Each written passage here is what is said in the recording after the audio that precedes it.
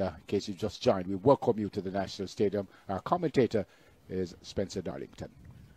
So the penultimate final on the track. The action has been moving quite quickly.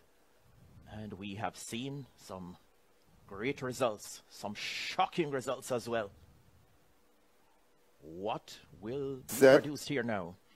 Women's 400 meters final sent underway now.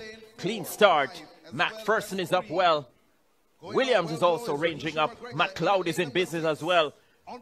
Charokee Young on the outside is looking to go hard. And uh, Bromfield as well. James Rose is in the middle, but moving best of all at this stage down the backstretch.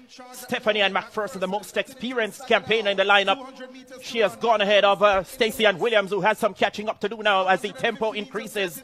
McPherson will take them off the top bend, running a big race on the outside. McGregor Jenkins comes calling as well, but McPherson takes them for home. Trying to come on the inside now. That's uh, Candice McLeod. Stephanie Ann McPherson looks good. She looks powerful. McPherson, the 2013 World Champs bronze medalist and the 2014 Commonwealth Games champion, is the national champion in 2021 in 49 points. At 33 years old, Amazing viewers. The athletes are delivering more than we could have asked. The best starter and the best finisher, really. Stephanie Ann McPherson in blue in the center of your screen. Being tracked carefully in red by Candice McLeod. She's stepping forward. Stacey Ann Williams of Texas not looking so good at this point. But look at Stephanie Ann McPherson in blue. She controlled the race from the start.